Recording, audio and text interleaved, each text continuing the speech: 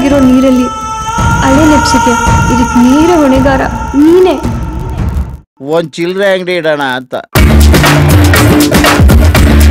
ನನ್ನ ಜೀವನದಲ್ಲಿ ಅಪ್ಪಿ ತಪ್ಪಿ ಯಾರನ್ನಾದ್ರೂ ಕೈ ಹಿಡಿದ್ರೆ ಸೆಳೆದರ ಭಸಕ್ಕೆ ಬಳಲಿ ಹೋಗಿ ಯಾರಿವಳ್ ಪೆಣ್ಮಣಿ ಕಡೆ ತನಕ ಅವ್ರ ಕೈ ಬಿಡಲ್ಲ ಸರ್.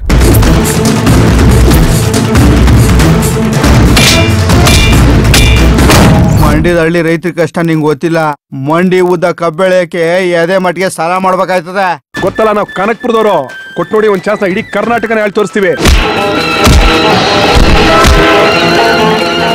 ಉಪ್ಪುಡ್ಗುರು ದಪ್ಪಡರಾದ್ರೆ ಎಪ್ಪಂಗ್ ಗೊತ್ತಾಗುತ್ತೆ? ಸ್ವಲ್ಪ ತಾಳು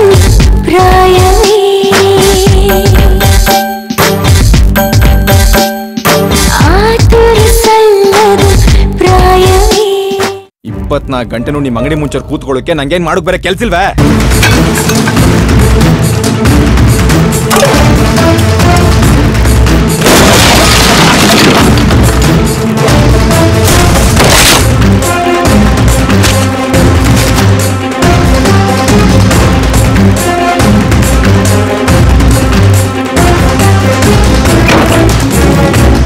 ದಯವಿಟ್ಟು ನನ್ನ ಸ್ವಲ್ಪ ಒಂಟಿಯಾಗಿ ಬಿಟ್ಟು ಹೋಗ್ತೀಯ ನೀನು?